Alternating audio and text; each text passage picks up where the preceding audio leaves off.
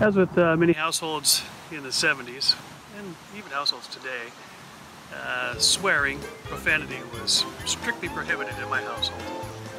And uh, should something slip, whether intentionally or not, there was hell to pay.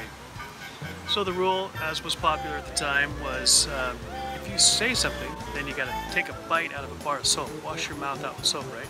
I took that quite literally. And so uh, we got to know, you know, what flavors of soap there were, what zest tastes like versus Palmolive, and you know, we had, had our favorites and our least favorites.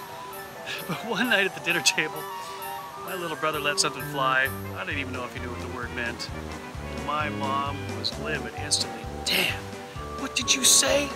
That's it, go take a bite out of soap. Wash your mouth out with soap. Dad like, no, I don't want to.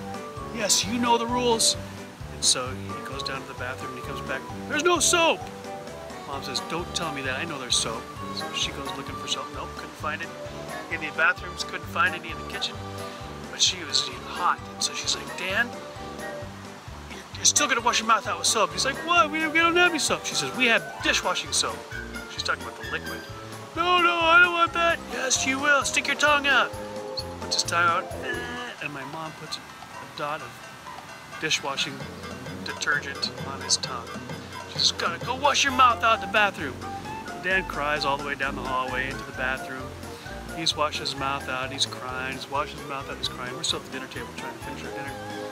And my mom's yelling, what are you, what, get back in here, it's time to eat, I can't. We just hear him crying.